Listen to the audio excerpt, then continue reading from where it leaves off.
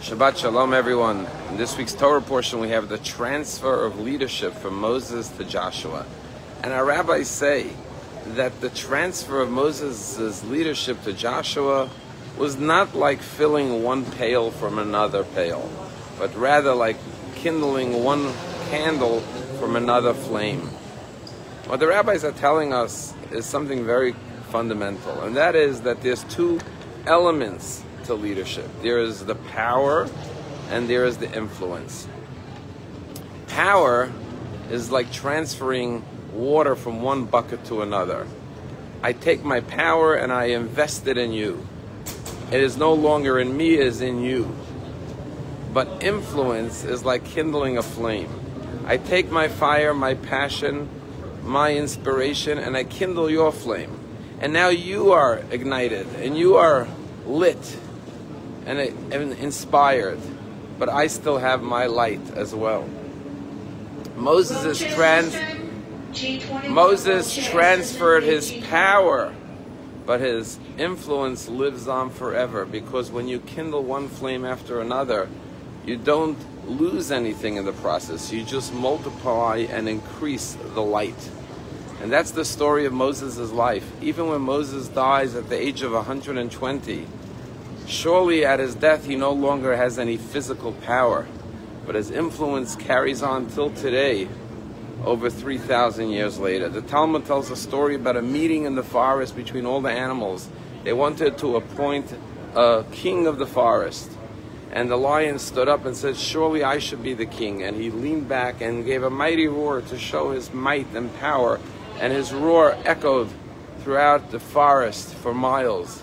But then a little bird stepped forward and said, I think I should be the king of the forest. And they looked at him and said, You, tiny little bird. And he said, Watch. And he started to chirp a song. And as soon as the bird started to sing, the next bird over started to join with him. And then the birds all around. And then the birds in the tree above. And then the birds in the next tree. And from tree to tree, the bird's song continued to travel until the entire forest was filled with song. And the Talmud says the singing of the birds traveled further than the mighty roar of the lion.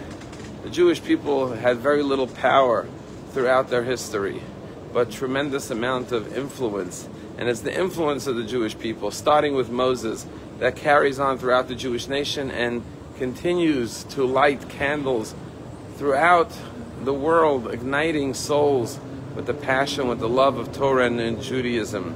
Just now, I was I'm in the airport traveling with the family, and a man comes up to me and he says, "Are you Jewish?" He said, "Yeah." He says, "I'm not Jewish." But I studied the weekly Torah portion every week, and he starts talking to me about Joshua and Moses and this week's Torah portion.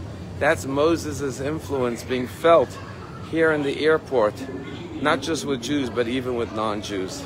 Last night there was a very joyous wedding in Israel. Was the wedding of Ben Binyamin and Gali Segal. I met them in Israel on our trip a few months ago.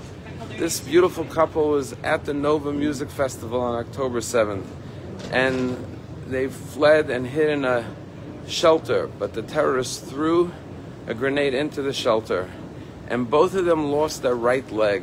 And we met them at the hospital in Tel Aviv where they were both recovering from their wounds and learning how to walk with prosthetics. Last night they walked down the aisle on their own with their prosthetic legs.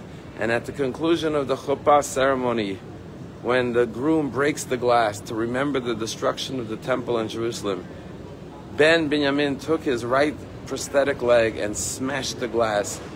And the message of the breaking of the glass is that we take the pain in the world and we transform it into joy we take our joy and we overwhelm the pain because we remember that we have a privilege and a responsibility to remember the pain of the past and to make sure that we spread our joy and our love like the flames of the candle, influencing others, touching the lives of others through our examples and through